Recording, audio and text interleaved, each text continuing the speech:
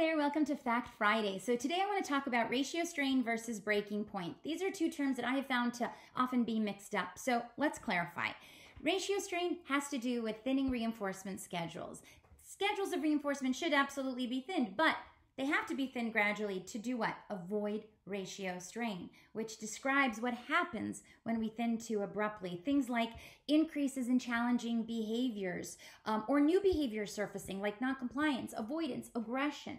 This response, this type of response, I should say, is the direct result of extreme increases in ratio ex- uh, in requirements when we move from what we call denser schedules, that's a lot of reinforcement, to thinner schedules, less reinforcement.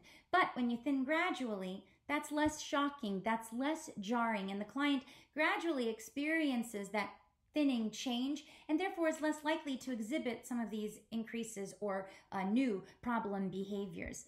Now, in contrast to breaking point, which has to do specifically with the progressive schedule of reinforcement or progressive schedule reinforcer assessment, that's the primary measure of interest. It's the thing that we seek with this schedule because we want to find out how far the reinforcer is going to go. So, what do we do?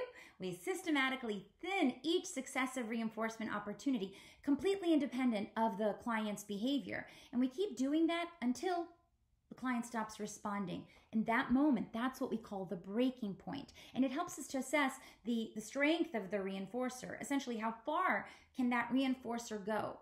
This is based on the assumption that there is a direct relationship between how hard we work and the potency of the specific reinforcer, which again is assessed by looking at the breaking point, the how far that reinforcement can go or how far it went.